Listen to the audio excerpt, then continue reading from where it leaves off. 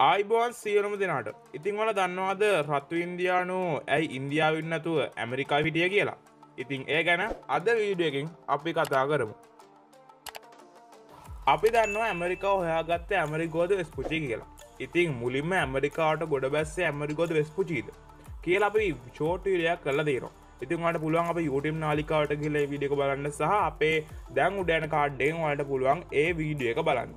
ඉතින් අමරිකොද ස්පුචි වගේම ක්‍රිස්ටපර් කොළම්බස් කියන්නේ හොඳ දේශ ගවේශකේ ඉති එක්දා සාර්සය අනු දෙකවර්ශයේදය ක්‍රිස්ටපර කොළම්බස් කැරබියන් මුහදේ බහමාස් දූපත්වලට ගොඩ බහිනවා. ඉතින් ක්‍රිස්ටප කොළම්බස් හිතුවම එක ඉන්දියාවගේ ඒත් එය ඇත්තටම ගොඩ බැස්සේ උත්තුර ඇමරිකාන ප්‍රදේශයකට.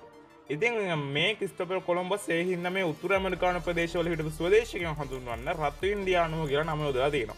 මොකද කිස්ටප කොළඹ සිටුවේ මුලින්ම මේක ඉන්දියාව කියලා. ඉතින් පස්සේ ඇමරිකොද වෙස්පුචිමක ඉන්ද කොටසන් නොවන බාර ප්‍රකාශ කළ. ඉතින් ඒ පිළිබඳම ෂෝට් විඩ අපි කරලා තියෙන එහෙනම් අදට වීඩියෝකින් අපි සමුගන්න. ඊළඟ විඩියකින් ඉක්මනටම හමුවමු ඔබ සැමට තෙරුවන් සරණ